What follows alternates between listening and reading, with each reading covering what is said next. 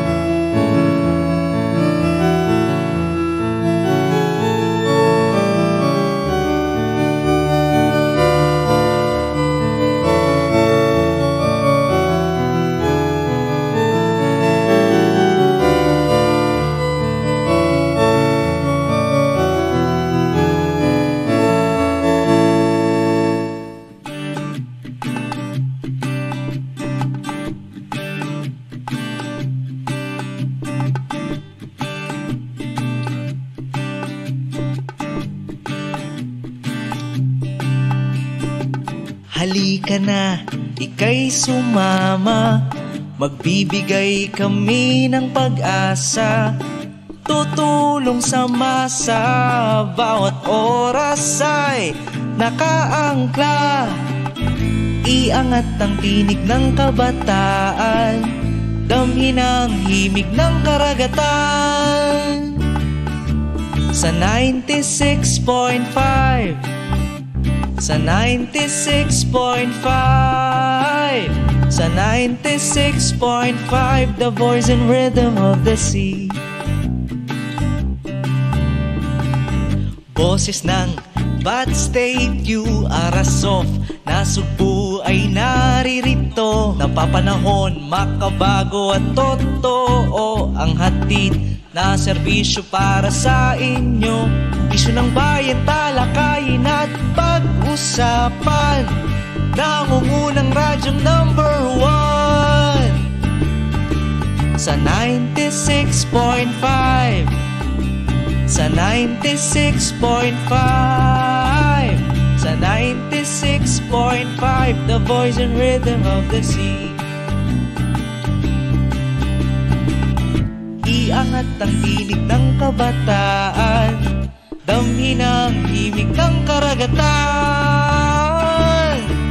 Sa 96.5 Sa 96.5 sa 96.5 The voice and rhythm of the 96.5 The voice and rhythm of the 96.5 The voice and rhythm of the 96.5 The voice and rhythm of the 96.5 The voice and rhythm of the sea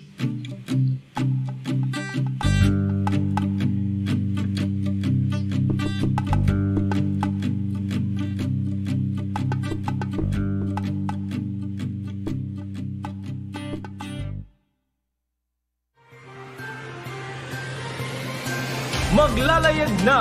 Maglalayag na! Maglalayag na! Ang mga balitang napapanahon at rumaragasa! Mga isyong nilambat pa sa iba't ibang panig ng ating bansa. Mga impormasyong nakalap sa nakalipas na buong magdamag. Live mula sa himpilang Spartan ng Kanlurang Batangan. DWRS 96.5 96.5 The Voice and Rhythm of the Sea. Magandang umaga, Pilipinas! Magandang umaga, Batangas! Ito ang Backstage Ulat sa Umaga! Magandang umaga, Pilipinas! Magandang umaga, Batangas!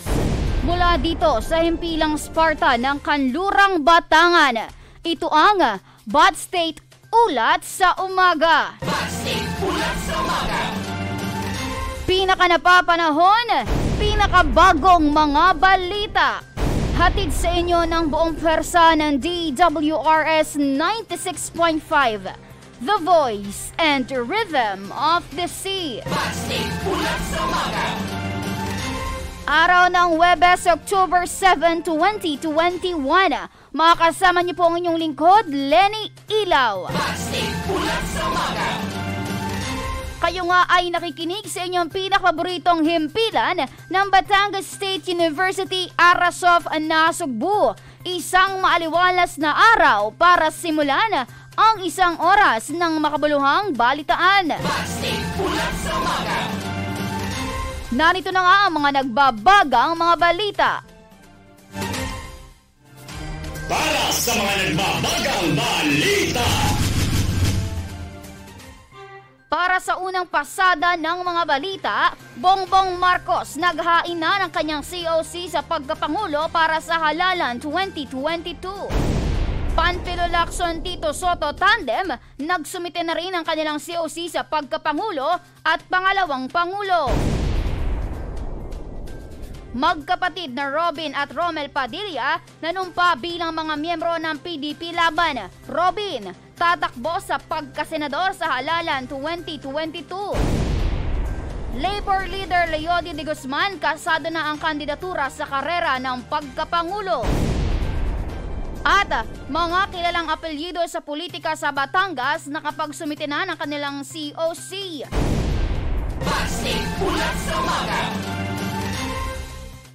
Para sa unang ratsyada ng mga balita, Bongbong Marcos naghain na ng kanyang COC sa pagkapangulo para sa halalan 2022.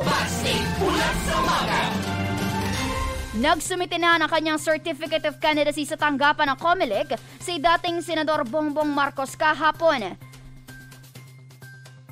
Isang araw matapos i-anunsyo nito ang kanyang pagtakbo sa pagkapangulo sa ilalim ng Partido Federal ng Pilipinas para sa 2022 elections. Matatandaan naman ang una ng inendorso noong September 24 ng dating tong partido na kilusang bagong lipunad.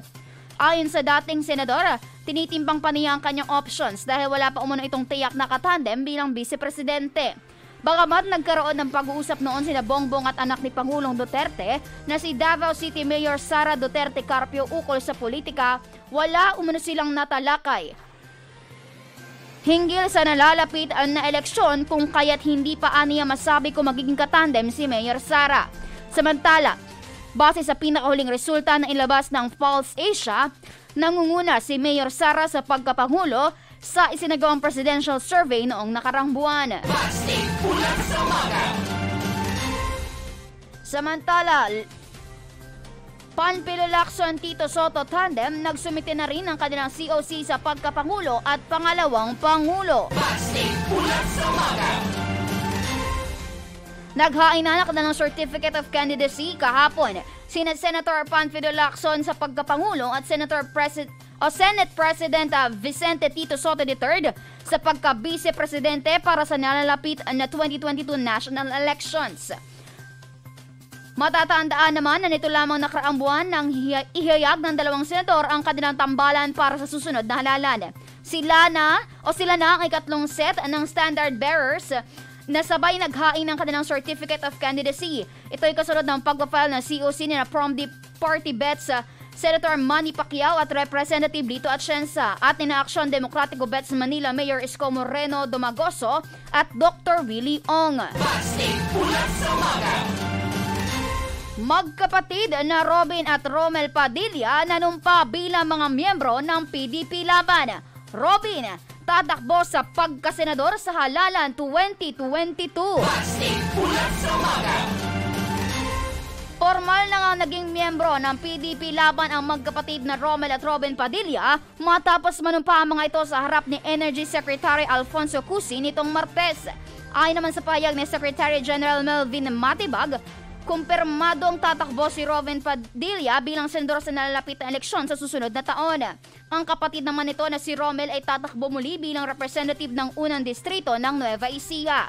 Matatandaan naman na una nang nasabi ni Matibag na kabilang umano si Robin sa inisyal na listahan ng mga opisyal na kakandidato sa pagkasenador sa ilalim ng PDP laban, subalit hindi nila tukoy noon kung tatanggapin ito ng aktor. Yan at iba pang may init na mga balita sa pagbabalik ng DWRS 96.5, The Voice and Rhythm of the Sea.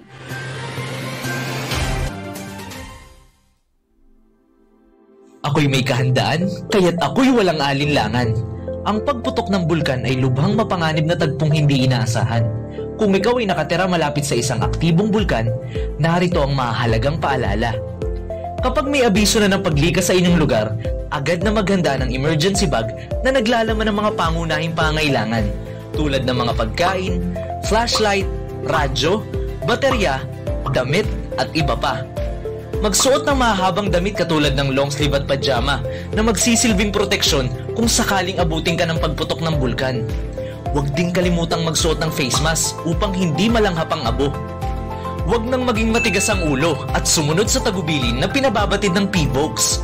Lumikas sa lugar na itinakda ng local government bilang evacuation center.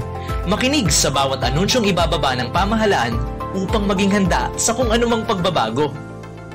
Tumutok sa DWRS 96.5 upang malaman ang mga pinakabagong balita at impormasyon ukol dito.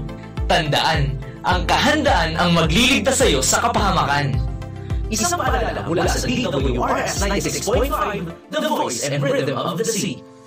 Ako'y may kahandaan, kaya't ako'y walang alinlangan. Ang pagbuhos ng malakas na ulan dulot ng bagyo ay isa sa mga sakunang palagi ang tumatama sa Pilipinas. Narito ang mga public storm signals at pinsala nito. Signal number 1. Ang hangin ay umaabot ng 30 to 60 kilometers per hour. Inaasahan na pabugso-bugsong ulan sa loob ng 36 na oras. Signal number 2. Ang hangin ay aabot ng 60 to 100 kilometers per hour. Lubhang mapanganib sa maliliit na sakyang pandagat na pumalaot. Signal number 3. Ang bugso ng hangin ay aabot ng 100 to 185 kilometers per hour. Suspendido ang mga klase sa lahat ng antas at inaasahan ng iba yung pag-iingat sa mga nakatira sa dalampasigan. Signal number 4. Aabot ng 185 kilometers o higit pa. Lubhang mapaminsala sa komunidad na maaaring sumira ng infrastruktura at mga pananim. At Super Typhoon kung saan umaabot ng 220 kilometers per hour o mahigit pa. Ito ay maaaring magbunsod ng malakas na hangin at malakihang pagbaha sa komunidad. Tandaan, ang kahandaan ang magliligtas sa iyo sa kapahamakan. Isang paalala mula sa DWRS 96.5, The Voice and Rhythm of the Sea. Kayo'y nakatutok pa rin dito sa Bot State Ulat sa umaga. Para sa pagpapatuloy ng ating balitaan, Labor Leader Leody de Guzman kasado na ang kandidatura sa karera ng pagkapangulo. Nag-file na ng kanyang Certificate of Candidacy si Labor Leader Leody de Guzman sa Commission on Elections kahapon sa ika-anim na araw ng isang linggong pagsusumite ng COC. Matatandang si de Guzman ay kumandidato sa Senado sa halalan sa midterm ng 2019 sa ilalim ng Partido ng Lakas ng Masa na ang plataforma ay naglalayong bigyang diin ang pagpapalakas ng mga manggagawa. Natalo ito sa huling bilangan ng boto at napunta sa 38th place ng karera sa pagkasenador. Kilala si Leody sa paglaban nito para sa karapatan ng mga manggagawa. Naging chairman rin ito ng Bukluran ng Manggagawang Pilipino o BMP.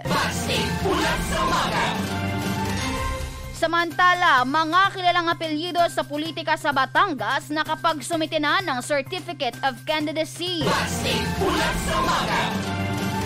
Para sa balitang ito, narito si Raymar Barcelona. Raymar, i-bot state, ulat mo. Lenny formal na ngang naghain ng Certificate of Candidacy ang mga kilalang apelyido sa Batangas. Ganap na alas 8 ng umaga kahapon ay unang naghain ng kanyang COC si Liza Ermita, bunsong anak ni dating Executive Secretary Eduardo Ermita, kasama ang pamangkin nito na si Carlos Ermita Alvarez. Kahapon, nagsumiti na din ng COC si Senator Ralph Recto na tatakbo namang kongresista ng ika-anim na distrito. Hindi naman nakita sa COMELEC ang kanyang may bahay na si Congresswoman Vilma Santos Recto. Nag-file na din si Congresswoman Mitet Colyantes bilang reelectionist ng ikatlong distrito ng Batangas. Samantala, sa kabuuan, may labing isa ng aspirante na nagsumiti ng COC kabilang na si Dr. Luis Ruiz na tatakbong kongresista sa unang distrito. Nag-file na din ng COC sina Board Member Arlene Magbuo ng ikalawang distrito, Board Member Bibong Mendoza at Lidio Lopez ng ika-anim na distrito. Gayon din sina dating board member Alfredo Corona, makakalaban nito ang dating mayor ng bayan ng Laurel na si Randy Amo ng 3rd District ng Batangas. Isa pang humabol si Rodrigo Dotig na tatakbo namang board member ng 4th District ng Batangas. Para sa Bat State Ulat, ako si Raymar Barcelona ng DWRS 96.5, The Voice and Rhythm of the Sea. Maraming salamat Raymar Barcelona. Yan ang unang pasada ng mga balita. Sa ating pagbabalik, ihatid na namin sa inyo ang ikalawang bugson ng mga balita. Kaya naman manatili kang nakatutok dito sa DWRS 96.5, The Voice and Rhythm of the Sea. Uy, kamusta? Oh, titingin ka pa sa iba. Oo, ikaw nga. Ako nga pala si Ate Mara. Maraming dalang kwento, maraming baong tips na makakatulong sa iyo at sa iyong pag-aaral. Handa ka na ba ngayong bagong taon ng eskwela? Alam ko na yung mga linyahan mo, kaya naman sagot ko ang mga hacks at tips para sa mas masayang taon ng pag-aaral. Oops! Gumising ng maaga, mag-stretching upang hindi kapuyin sa buong klase. Ha? May assignment? To-do list. Yan ang solusyon upang hindi mo makalimutan ang mga dapat mong gawin at unahin sa eskwela. Nakakabagot naman dito sa bahay. May alam akong solusyon dyan. Tumutok sa DWRS 96.5 para sa pinakabagong mga balita at updates at makinig sa mga kanta at drama na tiyak kapupulutan pa ng aral. Nasa loob man ng paaralan o wala, maaaring maging kasiyasiya ang pag-aaral. Ako muli si Ate Mara, sana'y marami kang natutunan at matututunan pa sa buong taon ng eskwela. Gawing kasiya-siya ang bawat araw ng pag-aaral kasama ang Batangas State University at ng himpilan ng DWRS 96.5, The Voice and the Rhythm of the Sea. Ako'y may kahandaan, kaya't ako'y walang alinlangan. Nakapagpabakuna ka na ba? Ang mga bakuna na nagawa ng iba't ibang kumpanya sa iba't ibang bansa ay nagpapakita ng napakalaking potensyal at bisa upang maiwasan ang sakit na COVID-19. Ang bakuna ay makakatulong sa iyo ng malaki upang hindi mahawa o makuha ang sakit na COVID-19. Ito ay isang immunity na maaaring taglayin ng sinumang mababakunahan. Ito rin ay isa sa pinakamabisang hakbang upang maiwasan ang malalang pagdami ng bilang ng kaso ng COVID-19 sa bansa. Ang pagpapabakuna ay hindi lamang makakatulong sa iyong pangsariling kaligtasan, bagkos ay makakatulong din na maiwasan ang maging carrier o tagadala ng sakit at makahawa sa mga taong iyong nakakasalamuha. Ang pagsuot ng mask at pagdistansya sa kapwa ay makakatulong sa pagsugpo ng COVID-19. Ngunit, mas makakatulong pa rin ang bakuna para sa garantisadong proteksyon. Tandaan, ang kahandaan ang magliligtas sa iyo sa kapahamakan. Isang paalala mula sa DWRS 96.5, The Voice and the Rhythm of the Sea.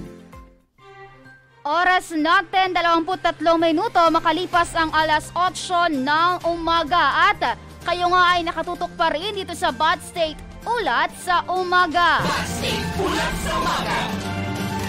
Narito na ang ikalawang pasada ng mga balita. State Ulat sa Umaga.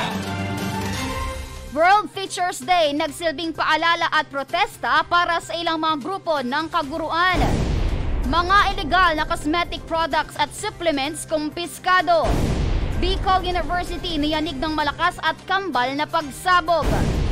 Mga naitalang COVID-19 cases, higit 2.62 million na. Pediatrician, pinayuhan ang mga magulang na walang dapat ipangamba sa COVID-19 vaccines para sa kabataan. Libo-libo nagmarcha upang isulong ang abortion sa US. Dating balot bender na, mati, man, na matyagang itinaguyod ang kanyang pag-aaral, licensed engineer na ngayon. College graduate mula Bohol, hindi kinahihiya ang pagiging isang promodizer. At debut game ni Kai Soto sa NBL, posibleng maantala. Para sa pagpapatuloy ng ating balitaan, World Teachers Day nagsilbing paalala at protesta para sa ilang mga grupo ng kaguruan. Ikinonsidera ng ilang mga teachers groups ang World Teachers Day bilang araw ng paalala at protesta sa hinaharap na hirap na sinusuong ng mga kaguruan ngayong panahon ng pandemya. Ayon sa Teachers Unity Coalition o TDC, na dapat ay magsilbi itong paalala na mabigyan ang mga itinuturing na isa sa mga bagong bayani ngayon ng mas maayos na compensation at hindi matapos lamang sa mga papuri ang pag-alaala sa World Teachers Day.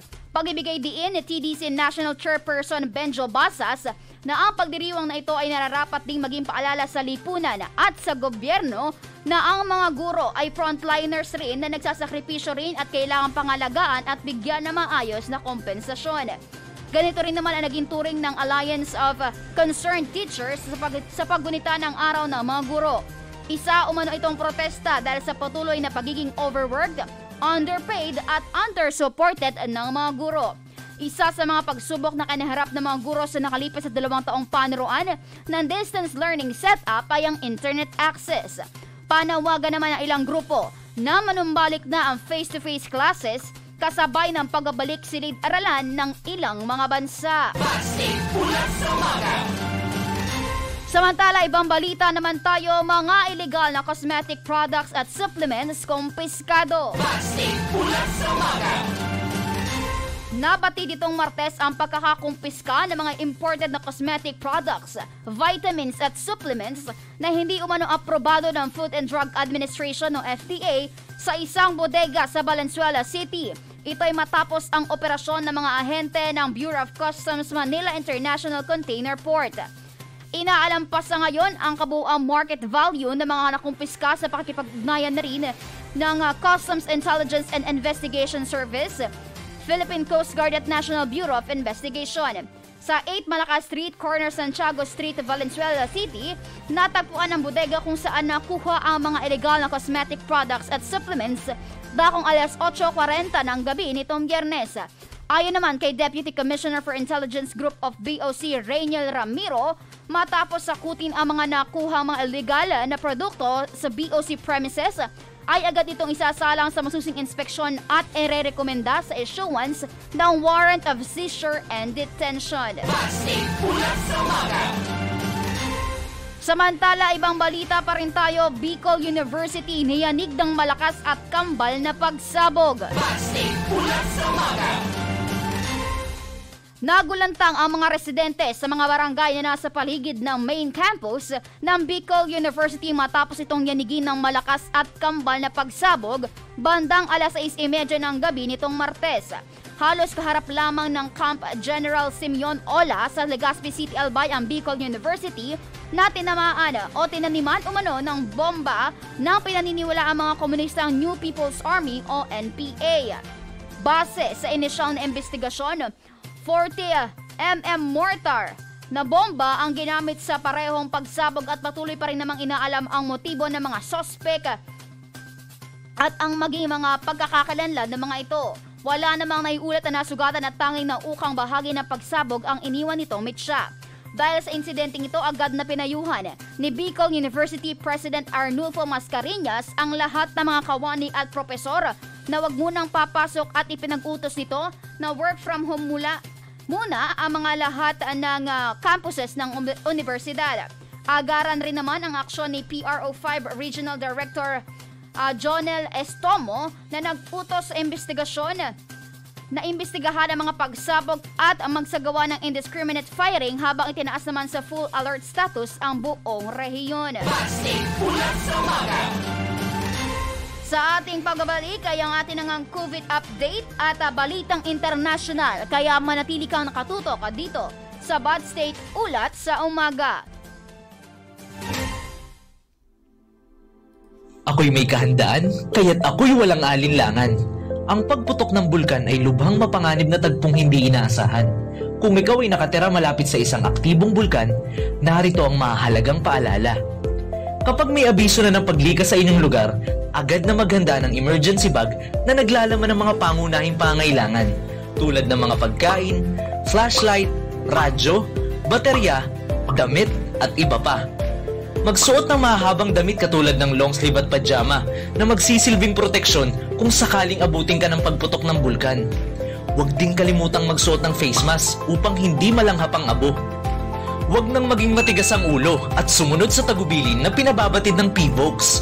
Lumikas sa lugar na itinakda ng local government bilang evacuation center. Makinig sa bawat anunsyong ibababa ng pamahalaan upang maging handa sa kung anumang pagbabago. Tumutok sa DWRS 96.5 upang malaman ang mga pinakabagong balita at impormasyon ukol dito.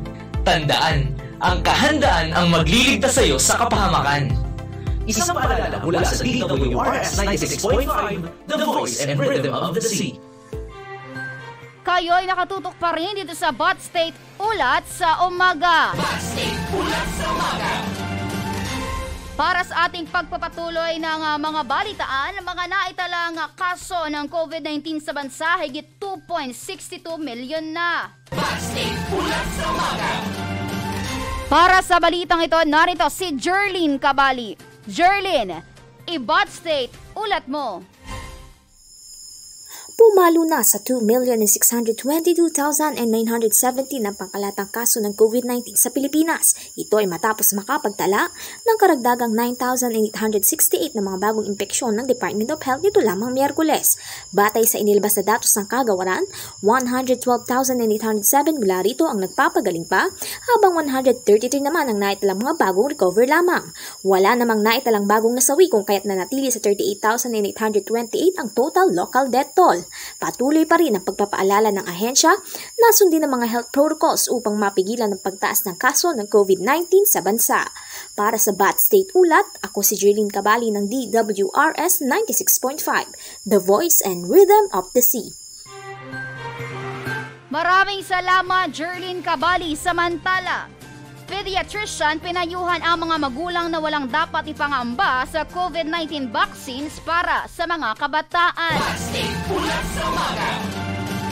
Walang dapat ipangamba, yan ang giit ng isang pediatrician hinggil sa mga side effects ng mga bakuna kontra COVID-19 para sa mga menor de edad. Sa isang panayam sa radyo, sinabi ni Dr. Cynthia Cuayo Wico na may, na may posibilidad talaga makaranas ng side effects ang mga batang mababakunahan kontra COVID-19, gaya ng lagnat, sakit ng ulo, chills at pananakit ng tinurokang braso. May ilang pag-aaral naman sa ibang bansa, partikular na sa Amerika, na maaaring isa rin sa mga side effects ito sa mga bata ay ang uh, pamamaga ng labas at kuminsan ay loob ng puso nito. Subalit, hindi dapat umuna itong ipangamba dahil napakaliit lamang ang aniya ng tsansa na mangyari ang ganitong rare na kondisyon o side effect. Samantala, Una naman nang naiulat at sisimulan na ang pagbabakuna sa ikalibing lima ng Oktubre, subalit uunahin muna ang may mga edad labing lima hanggang labing pitong taong gulang. Kabilang sa mga pilot hospitals kung saan isasagawa ang pagbabakuna ay ang Philippine Children's Medical Center, National Children's Hospital, Philippine Heart Center, Pasig City Children's Hospital, Fed Del Mundo Medical Center at Philippine General Hospital. Samantala, balitang international naman tayo, libo-libo nagmarcha upang isulong ang abortion sa US. My uterus, my rules. Iyan ang sigaw ng higit sa 10,000 mga kababaihan na nagdaos ng protesta sa mga kalye na buong Estados Unidos upang isulong ang aborasyon sa bansa at kontrahin ang isang conservative drive na pumipigil sa mga nais mga, na magpalaglaga. Humigit kumulang na 10,000 ang nagrally sa isang plaza malapit sa White House kahit pakatiktika ng araw bago nagmarcha patungo sa Korte Suprema ng Estados Unidos upang i-address ang nasabing issue. Bitbit din ng mga ito ang mga karatulo kung saan nakasaad ang mga katagang Mind Your Own Body habang ilan naman ay ginagaya pa ang bihis ng women's right crusader na si Supreme Court Justice Ruth Bader Ginsburg na namatay nito lamang nakaraang taon.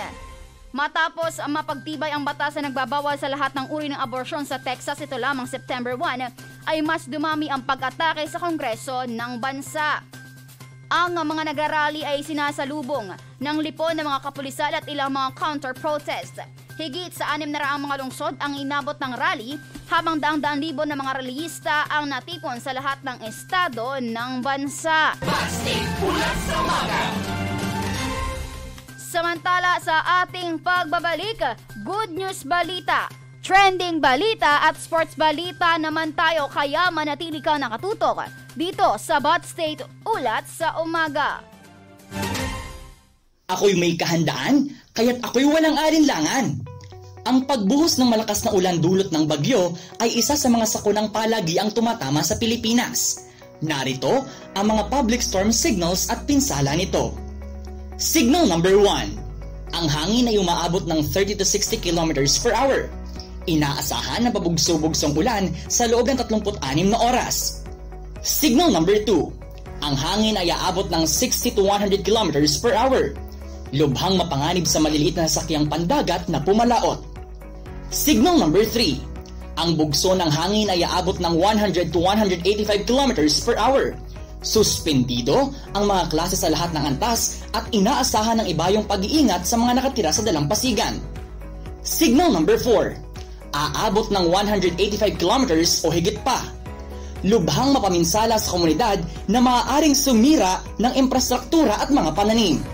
At Super Typhoon kung saan umaabot ng 220 kilometers per hour o mahigit pa.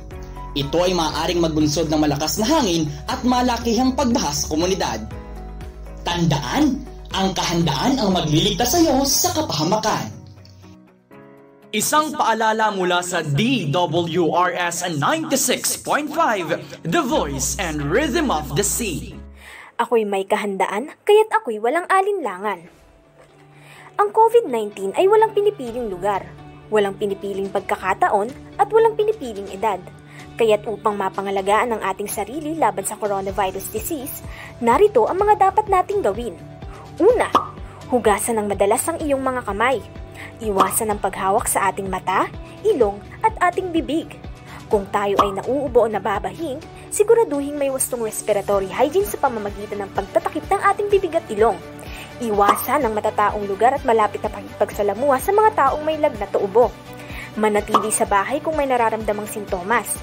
Kung ikaw naman ay may lagnat, ubo at hirap sa paghinga, siguraduhin magpakonsulta at kumuha ng impormasyon sa mapagkakatiwalaang otoridad. Tandaan, ang kahandaan ang magliligtas sa iyo sa kapahamakan. Isang paalala mula sa DWRS 96.5, The Voice and Rhythm of the Sea. Good news updates dito sa Balitang Good Vibes. Para nga sa ating Good Vibes balita, dating balut vendor na matyagang itinaguyod ang kanyang pag-aaral, licensed engineer na ngayon. Napahanga ang marami sa determinasyon, sipag at tiyaga na ipinakita ng dating balut vendor na si Benny Thomas.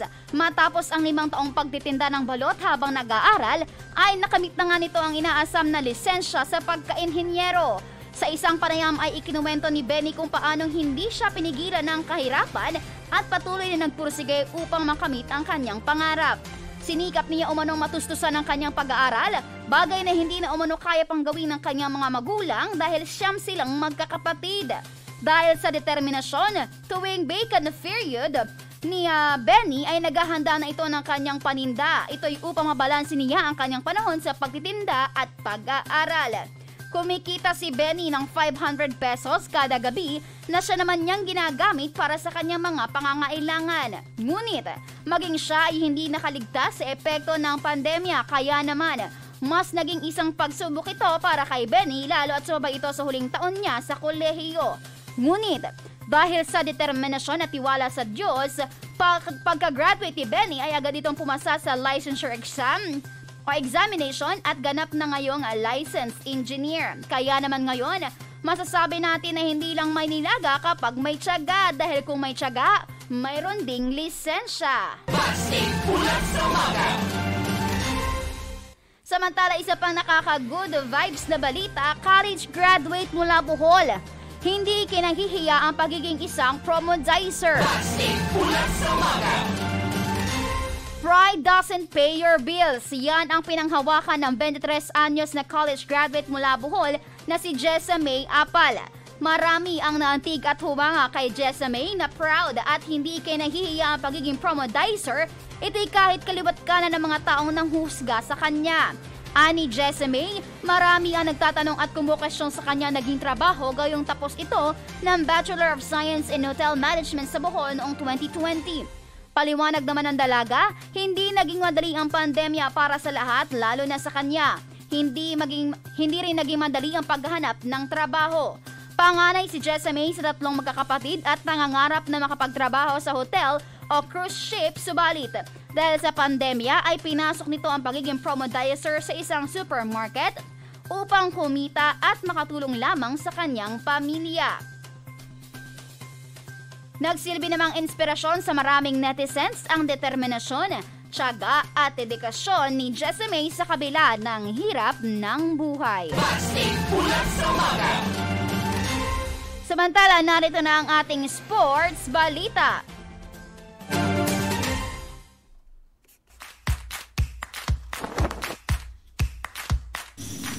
Sports Balita. Para nga sa ating sports balita, debut game ni Kai Soto sa NBL posibleng maantala. Para sa balitang ito, narito si Adrian Arroyo. Adrian, Ibat State, ulat mo. Posibleng maurong ang pagbubukas ng 2021-2022 Australian National Basketball League kung saan magkakaroon ng debut game si Kai Soto para sa koponan ng Adelaide 36ers. Isa pa sa mga rason sa pag-uurong ng opening ng NBL ay ang issue sa vaccination na hindi ito sapilitan kung kaya naman ang bawat team na ang bahala sa usaping ito. Ayon kay NBL Commissioner Jeremy Lowligger, natatalakayin pa nila ang ilang issue na makakaapekto sa pagbubukas ng torneo gaya ng mga dumaraming kaso ng COVID-19, quarantine protocols at venue ng event. Samantala, maaaring maipalabas ang mga laro ng NBL sa Pilipinas at China sa paglawak ng koneksyon nito sa television broadcast rights. Yan, Lenny, ang aking sports update. Para sa Bat State Ulat, ako si Adrian Arroyo ng DWRS 96.5, The Voice and Rhythm of the Sea. Maraming salamat Adrian Arroyo samantala weather update naman tayo. Tuluyan na nga nakalabas ng bansa ang Tropical Depression Lani, subalit nagdudulot naman ngayon ng mga pag-ulan ang Intertropical Convergence Zone o ITCZ. Samantala, may isa pa namang low pressure area na binabantayan sa labas ng bansa na nasa layong 1,085 km silangan ng Visayas at may posibilidad na maging isang bagyo at pumasok sa ating ah, Philippine Area of Responsibility ngayong araw. Makakaranas na ba ng mga ulap na kalangitan na may kalat-kalat na mga pag-ulan, pagkulog at pagkidlat sa Ilocos Region, Bataan at Sambales. Sa natitirang bahagi ng Luzon, kabilang na ang Calabarzon ay makakaranas naman ng maliwalas na panahon. Miba na lamang sa mga localized thunderstorms. Sa Kabisayaan at Mindanao naman ang isahan na unti-unti nang gaganda ng ang panahon, bagamat may chance pa rin ng pag-ulan, dulot pa rin yan ng localized thunderstorms. Samantala, wala po nga nakataas na gale warning sa ating baybayang dagat kung kaya naman malaya makakapamalaot ang ating mga kababayang mangingisda maging ang may mga maliliit na sasakyang pandagat. Magiging banaya daga sa katamtaman lamang ang mga pag-alon. Ang araw ay sumikat kaninang alas 5.47 ng umaga at lulubog mamayang alas 5.43 ng hapon. Para naman sa ating latest foreign exchange rate update, para sa palitan ng piso kontra US dollars, 50.71. Canadian dollar, 40.31. Singaporean dollar, 37.38. Saudi Riyal 13.52. Euro 58.82. Chinese Yuan 7.84. At Japanese Yen 45 centavos. Yan ang mga balitang nakalap namin sa buong magdamag. Pinaka napapanahon, pinakabagong mga balita. Hatid sa inyo ng buong persa ng DWRS sa 96.5. The Voice and Rhythm of the Sea. Maraming salamat po sa inyong pakikinig. Ako muli ang inyong naging kabat state ulat, Lenny Ilaw.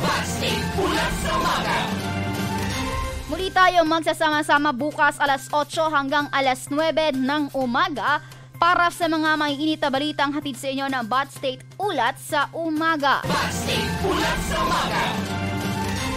Pakatutukan po ang aming mga anunsyo at updates ngayong bear months dahil ah, may mga bagong mukha tayong mga kasama. Bagong set of reporters na maghahatid sa atin ng mga maiinit na balita at makakasama natin na sa ating ah, team ng DWRS at gayon rin po ah, abangan ang mga sorpresa namin sa inyo ngayong Bear Months. Kaya i-like at i-follow ang ating Facebook page. Nang sa gayon ay updated po kayo sa aming mga announcements, updates, sorpresa nang hindi kayo nahuhuli. Gayon rin po sa ating ah, YouTube channel Ganun din po, i-search nyo lang DWRS 96.5, The Voice and Rhythm of the Sea at makikita nyo na dyan ang ating YouTube channel kung saan nariyan po ang animated uh, videos ng ating uh, mga paalala. Ganyan rin po ang mga episodes ng uh, uh, Bad State Ulat sa umaga. Bad State Ulat sa umaga. At 79 days na nga lamang, Pasko na! Bad State Ulat sa umaga. Samahan nyo kami hanggang alas 5 ng hapon para sa masayang tugtugan. Ano daw? para sa masayang tugtugan at kwentuhan. Dito lamang yan sa DWRS 96.5. The voice and the rhythm of the sea.